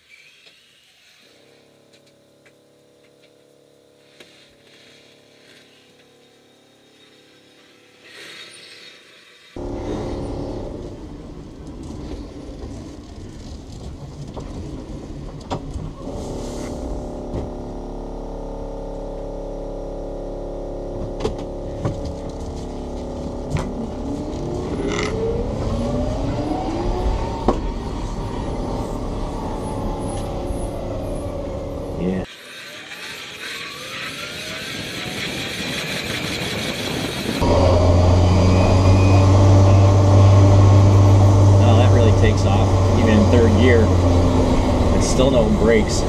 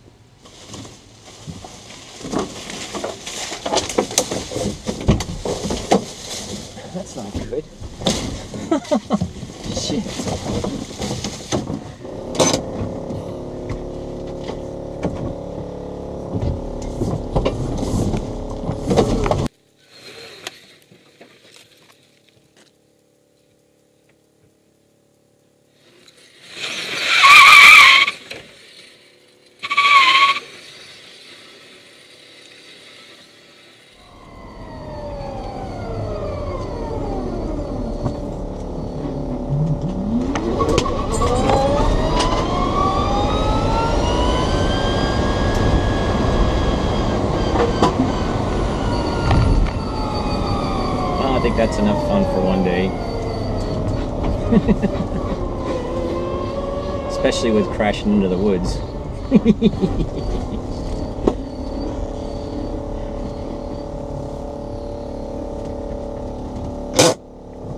Make sure you don't move.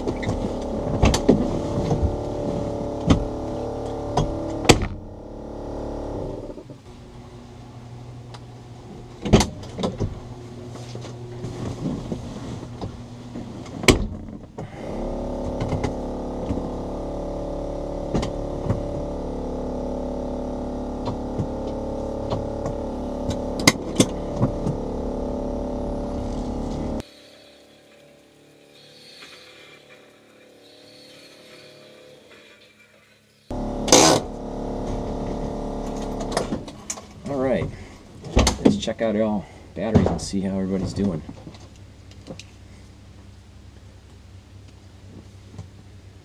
Looks like the inverter got a little warm. It's up to 30.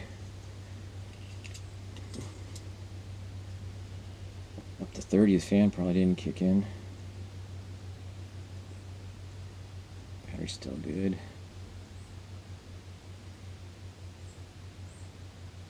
Yeah, I think that was good.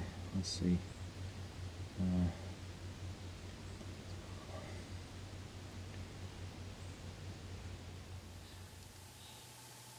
Well, that was pretty crazy. Crashing into the woods, car driving itself. I don't know what happened there. I do know that uh, it was because, you know, I jumped out of the car to get the uh, tablet because I wanted to see what was going on. And um, I didn't put on the emergency brake and I probably left it in gear. Although, you know, I've had that in the garage on jack stands and working on it, I've had it in gear with everything on and never saw that ever happen. Uh, again, I'm worried maybe the GEVCU did something else, the throttle drifted or something. But uh, I was very lucky that that car was pointed at the woods and not at those other cars parked in the driveway or if it was parked, you know, pointing towards the garage and would have got in the garage and hit the tools and the bench and everything, that would really been bad, very expensive. So just lucky this time. I have to figure out what's going on with that, but really great to see it on the road and running. Uh, it's hard to believe that's been in the garage since January 2014. It's not been out of the garage in two years and 10 months. And in fact, it's been up on jack stands for almost two years. So really great that, uh, you know, it's out on the road. But, you know, you could hear there's a lot of things that need to be worked on. Uh, one of them is that vacuum pump for the uh, power brakes. Uh, there's might be a leak somewhere or might be adjusted not right, but you know it runs way too much. And uh, you know the brakes also in the rear they're they have some problems because those calipers you know they weren't made for this car so they don't really fit inside those 13 inch wheels. Something I'd like to address by buying some 15 inch wheels but you know that's not going to happen right away. Uh, I'll just have to grind some more off of the calipers. I thought I got enough so that they weren't touching but they still seem to be and and the brakes uh, still aren't quite you know perfect. Uh, they it would stop the car, but I wouldn't want to drive on the highway with them. So I still have some more work to do there. But uh, it's really great that car got out and it's really moving and it, it drives really well. It's uh, very smooth. Still a little loud inside the uh, you know the passenger compartment, and that's because you know I have a lot of the uh, parts are still not all put together inside the engine. Uh, there's a lot of pieces of metal and and some insulation and other things, so that should really quiet that all down. But still, it's going to scream a lot because that big Siemens motor, which is fine. It's an electric car, but uh, very powerful. You can see it uh, didn't take much to get the wheels spinning when I tried to get out of the woods. Uh, and that's the same thing in first gear. That car, it just you can't even really put much into it, and it starts to spin the wheels. So um, good though, you know I drove around in third gear, and it works really well there. So look for uh, more videos of the car being driven. Uh, again, I have a lot of stuff to do for uh, it really gets to be a daily driver. Most of which, you know, is that interior. You notice there wasn't a passenger seat. Uh, that's because the carpeting still isn't completely glued down, so I can put the passenger seat in. And then I also have to do something with the rear seat, uh, cover up the uh, battery boxes there. And, uh, you know, things like the heater has to be installed now too. It's about that time of year, and Still have a problem with the instrument cluster. It's uh, it's not working. I, I mean, I don't get any signals into it, and it was, as I've shown in several videos in the past, working on the bench, that thing was marvelous. I had everything working, the tach, all the temperature, the fuel gauge, the digital readout. So probably just uh, some wire that's uh, disconnected that's not allowing to work, but that's real pain to take that out too. So um, still a lot of work to do on that car, but at least it's rolling on the road, and um, I'm really happy about that. So again, watch for another video with uh, all the other fun I had to get to this point. But again, thank you for watching, and we'll catch you later. And so, as you saw, Ed Clausen is dabbling in autopilot software and trying to get his car to drive in the woods without him. Uh, also, further adventures in battery management systems uh, for the record, and again, uh, for many years, uh, we've uh, been skeptics of battery management systems and further skeptics of the entire concept of autopilots. Uh, I have used many autopilots in aircraft and uh, some in boats, but I consider the um, highway system to be a very narrow uh, ribbon of concrete and a very variable environment um, as to weather, road conditions, altitude, curves, um, and other traffic. And I simply cannot picture how you would build a test suite uh, to develop software against that would take enough of those factors into consideration. When you combine that with the complexities of software to deal with uh, LADAR, or radar, um, and um, mm, video processing um, combined with GPS. um, and uh, so forth. I just uh, I don't think we're even close, and why uh, the auto manufacturers would want to assume the liability um, for auto crashes is beyond me. Tragically, there have already been several deaths. Uh, they actually had a Tesla who crashed into a garbage truck while parallel parking uh, using the autopilot uh, a few weeks ago. So it's uh, um, there's many a slip between the, the cup and the lip. Um, I wouldn't mind being able to whistle up trigger and have my car get itself out of the garage and bring itself around front, um, but I'm not too sure that I would want to uh, go down the freeway um, listening to a Harry Potter movie as my last official act on planet. Um, and so I'm a skeptic of the entire autopilot thing. I think everybody's going to dabble in it. They're going to compete with each other's uh, announcements on it. And then uh, within five years, all of them will have corporate amnesia and not be able to remember having that program. What are you talking about? They never really were in that. Um, and so it's a media and car manufacturers' fad of the moment. And I do not think that um, you're going to see cars that come pick you up.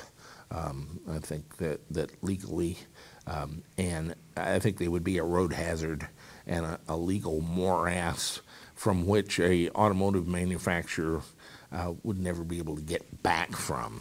Right now, they have a pass. And so m- automobile accidents are so overwhelmingly due to human um, error that um, the manufacturers of the cars, unless there is uh, irrefutable uh, evidence to the contrary gathered over the years that a specific model has a specific problem, um, they're virtually uh, immune um, to liability for them. And uh, why they would give that up on purpose um, is beyond me. And I think uh, when, when they take a look at it and, and have a few more uh, incidents, I think they'll all back away from it pretty smartly. Um, it's just not practical uh, on our freeways. Um, in an aircraft, we have the big sky. We have a lot of room up there. And an autopilot mal- malfunction usually have uh, minutes um, to react and assume control of the aircraft and correct the situation. Um, um, on a two-lane highway, um, you have uh, tenths of a second uh, to react to some situations. And if the autopilot doesn't, and you have to take control and stop watching the movie, um, th- this is simply uh, ludicrous. It's, it's not going to happen. Uh, You have nothing but tragic uh, results and, and accidents where no, no accident was called for.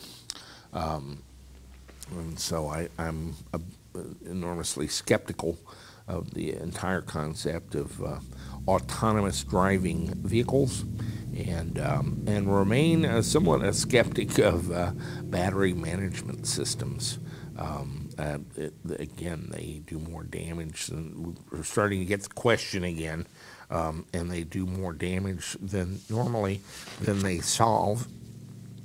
I uh, would propose that when dealing with a Leaf battery pack or a Volt battery pack or a Tesla battery pack, you're probably on balance better uh, to use their professionally designed and engineered integrated battery management system than not. But bolting on one um, of your own design or many of these uh, pseudo uh, amateurish uh, designs that are out there for the um, custom and conversion market, I think is generally a bad idea and usually leads to a bad outcome. That's been our position for many years. And uh, just about the time I'm about ready to roll over and, and concede that, well, if all of you love them, maybe I'm wrong. Um, we have another incident proving that indeed I was I was right all along. And um, so we continue to battle battery packs uh, largely because um, we go off and leave the cars uh, with the maintenance switch on and they bleed down. And so our bottom balancing is what saves us over and over again. Um, I would like to develop a device that simply uh, cuts the pack in two when it gets down to a certain voltage. But of course, you need some power to power that. And uh, so it, it's one of those things that looks pretty simple, and every time you chew on it, it uh, it turns into a bunch of cardboard in your mouth. It just uh, um, very minor problems, but you keep chewing on them, and they and they soon loom insurmountable. Um, I'm sure we can work something out, and I'm kind of motivated to do it because I've just had so many cars go flat. Well, I actually turn the switch on. Somebody will come in and be asking about the car, and someone will turn it on to demonstrate something or take